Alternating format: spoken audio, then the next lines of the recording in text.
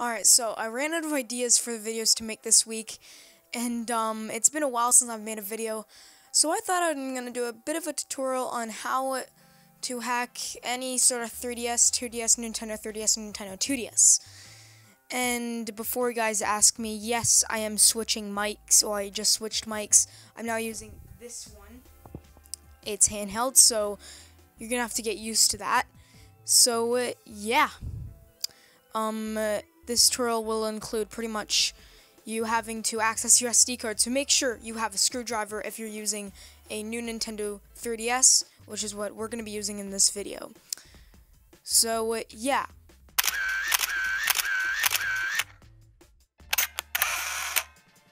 Okay, so before we continue on with the tutorial, I first want to tell you guys what Homebrew actually is. Now, Homebrew is a, like, sort of type of tool that allows you to get free software, free games. Um, allows you to get things on your 2DS that Nintendo normally wouldn't be allowed to, you know, put on your 3DS or, you know, it, that would be very hard to get on your 3DS. But now that makes it much easier. Um, and it comes with tools like FBI, which makes things, once again, way easier. You can install any CIA file from anywhere. Um, however, the free games thing, I'm not going to show you how to do because that's illegal. Um, instead, I'm gonna show you um, how to actually get homebrew. But you could do a lot more things with homebrew as well. You could get um, like completely different games that has nothing to do with Nintendo that somehow now exists that you can get on your 3DS. So yeah, I'm there are tutorials on how to get that, but I'm just going to be showing you how to get homebrew. So yeah.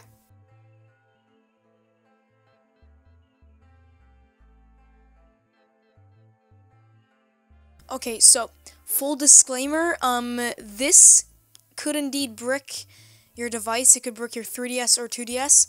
So, um, yeah, just be careful. Um, I'd make sure to disable Spot Pass and a couple other things. The Nintendo might, um, track you down with this. They, actually, they won't track you down, but yeah, this could definitely brick your device. So be extremely cautious when watching the tutorial. And if you follow better with um, actual words and well, if you fall better with reading something instead of um, watching something, go to the 3DS hacks tutorial in the description down below. It you know has a bunch of other um, tutorials as well, but there's also if you're using an older version of firmware on your 3DS, it show, will show a tutorial for that as well.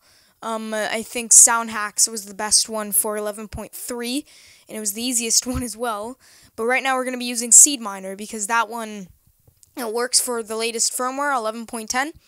And if you're not on 11.10, go update right now. Go to your system settings and update. So, uh, yeah, let's get started. You're going to want to insert your SD card into your computer. You want to find a uh, Nintendo, you want to find your Nintendo 3DS folder. If you don't have it, then, um, yeah, then, yeah, you want to put it back into your 3DS, try to get some games on it, but you should have it. Um, then you want to copy your, so if you double click on it, you'll see a folder with, um, that's 32 characters long. You want to copy the name of the folder somewhere. Um, it's also known as your ID0. Then you want to power on your device. You want to go to your friends list, and and after that, you want to find your friend code and copy it down on your computer somewhere. Then after that, you want to open up brute force move at a movable on your computer and enter your friend code with no spaces or dashes. Then you want to paste your 32 character long folder name into that area or your or also known as your ID0. Um, type and then click I'm not a robot. And then when it says when it's prompted register friend you want to add uh, this person I'm showing off right now on my 2DS I mean my 3DS um, it's actually a bot and this will allow you to get the move the movable.sed file on your computer. And once you select go you'll be able to download it Alright, so once you got your um, movable um, .scd file, you want to go to system settings. Actually, no. What you will need to do is go get Seed Miner.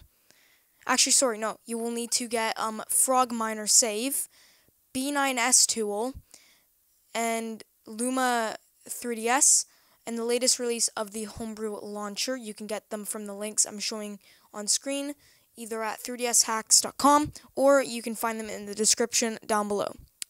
Alright, so now, right now, you're going to want launch your system settings on your device, data management, DSiWare, under system mem and then under system memory, select your DSiWare game. Um, simply to get a DSiWare game, just go to um, go to the eShop and download Nintendo Fan Network if you don't already have any DSiWare games. I just did that on my 3DS, so I don't need to do that. Then you want to click copy and it should copy it to the SD card once you do so. Then power off your, your device, insert your SD card to your computer, copy your movable.sed file to the root of your SD card, and then copy the boot.firm from actually no, so extract luma 3ds.zip to your SD card somewhere, or not to um wherever, and then there'll be a file in it called boot.firm. You want to copy that to the root of your SD card. Um, then you want to do, and then for the B9S tool, extract the release folder that you download, and there will be a boot.nds file that you want to put on the root of your SD card, and which is pretty much just the main SD card, and then copy the boot.3dsx file to the root of your SD card. That's from the Homebrew launcher. And then copy the private folder from the frogminersave.zip to the root of your SD card. So to get that, you just extract the frogminersave.zip and then open it up and copy that folder. Then go to Nintendo 3DS, then your ID0, which is the 32 character long ID. Then there'll be another folder, which is another ID thing, and then go to Nintendo DSiWare. Then there will be um then there'll be an eight character long ID dot bin um file somewhere. It'll be literally whatever. And so you want to copy the name of that, I'm pretty sure. Yeah, you want to copy the name of that. Then, after that, you want to open Fredtool on your computer. Just go to the link down below to get to that, or go to 3dshacks.com. Either one will do. Select your movable.sed file um, in that area, and then go to the eight. Ter- then find your eight character um bin file. Actually, sorry, no. When you go back, so going back to um the uh, part where you gotta copy the bin. So don't copy the name, copy the actual file to your computer somewhere, and then you want to select that file, um, in that area, and then you want to complete the I'm not a robot captcha. Click start. Wait for the process to complete. When it's done, you uh, um can download the modified DSiWare archive from the site. Um, the file will be called 423 83814.bin. You want to that's from the output slash hacks folder in on the um Fred tool Fred tool underscore output dot zip um that you download. So you want to copy that to the um to where um the eight to where the other um file was and you want to reinsert your SD card into your device or Nintendo 3DS or 3DS. Power on your device, launch system settings, go to data management, DSiWare, and there'll be a sort of like section where it says like um hacks. You want to copy that to the system memory, and then you go to the main uh, system settings. Go to internet settings, Nintendo DS connections, and then it'll load the I don't know what it's called. It was like JPN Flipnote.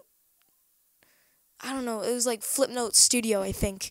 And this part is actually really hard. So you could either follow what I'm doing, but that might be kind of hard. So go to the link down below and you'll find a visual guide that you can easily do.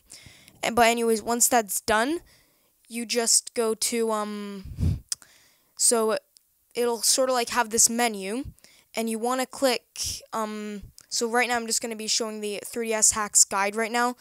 So you want to go and use your d-pad to move to the install bootstrap the install boot 9 strap and then press A and then press start and select at the same time to begin the process. And then once completed at the bottom of the screen it says done exit the, the B9S tool, then power off the device. And then after that, boot your device while holding select to launch the Luma configuration menu. Use the A button and the D-pad to turn on the following show NAND and uh, show NAND or user string in system settings. There will be an X right beside it. Then press start to save and reboot. And then after that, you can skip this if you really don't care. Okay, now we're almost done. All we're going to need to do is install the latest release of Anemon 3DS. You want the CIA file.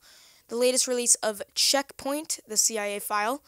The latest release of the Homebrew Launcher wrapper. The latest release of God Mode.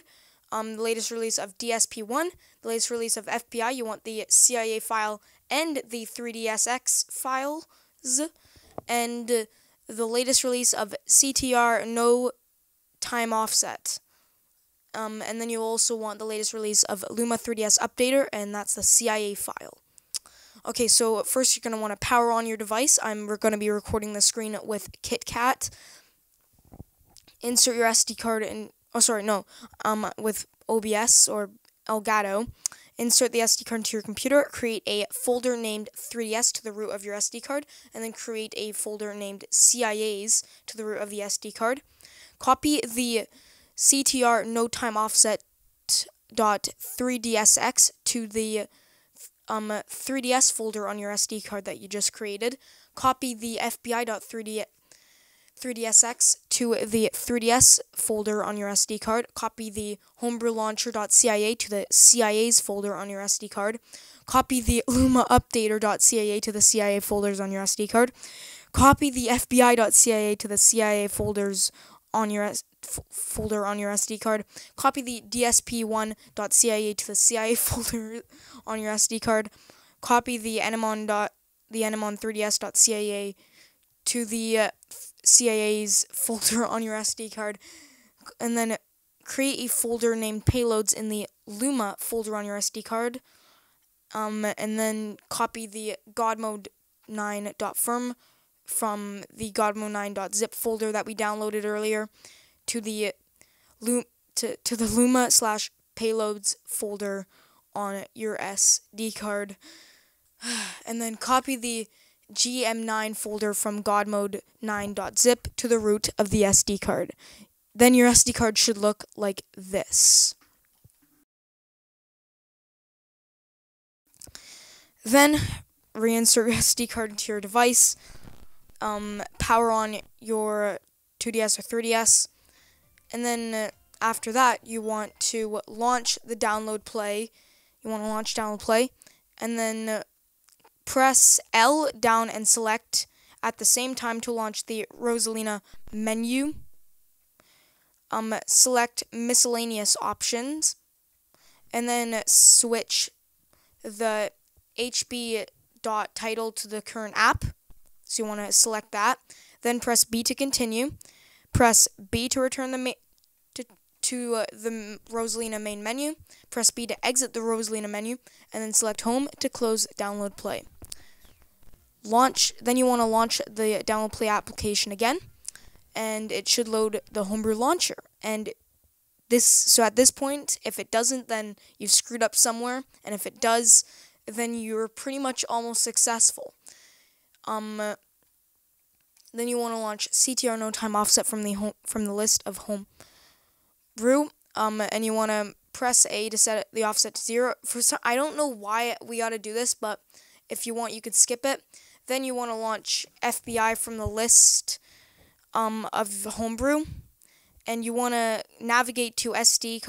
You want to navigate to SD, then CIAs, and select current directories, and you could install and delete all CIAs when you click that. I won't have that option, but um, you will have that option when you do this.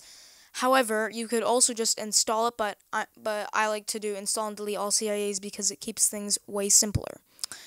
Then launch the DSP1 application. I don't have the application, so I can't really show this. I'm just going to show um, 3DS hacks. And then uh, once it has completed, press B to um, self-delete the app and return to the home menu.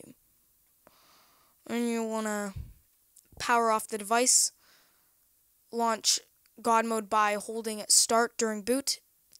If you are prompt, um, I once again I can't really show this because I don't have this. If you're prompted to uh, create an essential file backup, press A to do so, and then press A to continue once it has completed. Um, and uh, the rest of this, yeah, and press home to uh, bring up the action menu.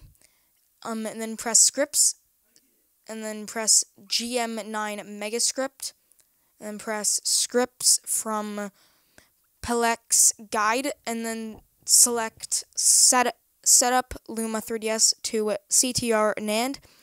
When prompted, press A to proceed. Then press A to unlock sysnand and writing, and then input the key combo given, and then press A. And from here, you could clean up the SD card, but at this point, it's not really needed. And when you're backing up essential files, um, if you get an error, then it's mainly because you are out of space.